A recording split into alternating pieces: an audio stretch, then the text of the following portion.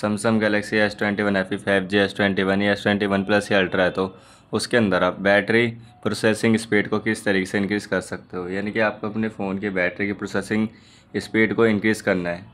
यानी कि आपको ज़्यादा करना है तो उसके लिए आप सबसे पहले अपने फ़ोन की सेटिंग को ओपन कर लेना है और यहाँ से आपको नीचे जाना है। नीचे जाने के बाद आपको यहाँ पर ऑप्शन शो हो जाएगा बैटरी एंड डिवाइस केयर इस पर आपको टैप कर लेना है। बैटरी पे आपको टैप कर लेना है और यहाँ से आपको नीचे जाना है। नीचे आने के बाद आपको यहाँ पर ऑप्शन आएगा मोर बैटरी सेटिंग इस पर आपको टैप करना है।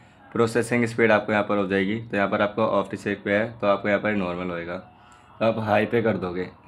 तो get faster data processing helpful view app व्यूरिंग तो आपके यहाँ पर जो किया है, थोड़ी इंक्रीज हो जाएगी। बाकी आप मैक्सिमम पे करोगे तो आपकी काफ़ी प्रोसेसिंग है, वो आपकी ज़्यादा हो जाएगी। तो इस तरह से अपने फ़ोन के, मैं इसको इंक्रीज़ कर सकता हूँ। अगर वीडियो चाहिए तो वीडियो को लाइक शेयर सब्सक्राइब करें। मिलते हैं नेक्स्ट वीडियो में तब तक के लिए बाय